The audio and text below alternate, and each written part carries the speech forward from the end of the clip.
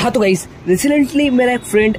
ठेले पे से चश्मे लेके आया और मुझसे कहने लगा कि भाई तुम्हारी दुकान पे तो बहुत ही महंगे चश्मे मिलते हैं तो वहीं पे मैंने उससे बोला ला दिखा भाई इसमें का सेम चश्मा मेरे पास भी है मैंने उससे पूछा तू कितने में लाया उसने मुझे कहा कि मैं अस्सी रुपये में चश्मा लेके आया हूँ उसने मुझसे पूछा तेरे शॉप पर ये कितने का है मैंने बोला ये वाला मेरे पास एक सौ का है अब उसने बोला भाई क्या डिफरेंस है मुझे बता अब मैंने उससे बताया कि देख भाई जो तू लेके आया है चश्मा इसमें जो अंदर देखिए जो बिल्ड क्वालिटी है वो किस टाइप से दे रखी है ये ऊपर वाला जो है ये मेरी शॉप का चश्मा है और ये नीचे ब्लैक कलर का जो रखा है ये आप तू रोड साइड से लेके आया है रोड साइड से तो चश्मा तू लेके आया है वहाँ पे पूरा प्लास्टिक का बना है और कहीं से कहीं तक कोई सपोर्ट नहीं दे रखा है फ्रेम का वहाँ पे जो क्वालिटी ऑफ आई ग्लासेस है या सन ग्लासेस वो बहुत ही लोकल है और यहाँ पे जो हम क्वालिटी बेचते हैं वो थोड़ी सी प्रीमियम क्वालिटी बेचते हैं तो मैं यहाँ पे आपको ये सजेशन देना चाहूँगा मैं ये कहना ही कह रहा हूँ कि आप यहाँ से खरीदें वहाँ से जहाँ से आपकी इच्छा वहाँ से खरीदें पर अगर आप एक सुपीरियर क्वालिटी का ग्लास पहनना चाहते हैं तो किसी भी ऑप्टिकल शॉप को मैं रिकमेंड करता हूँ तो इस तरह की अवेलेबल वीडियो के लिए मेरे चैनल को सब्सक्राइब कर सकते हैं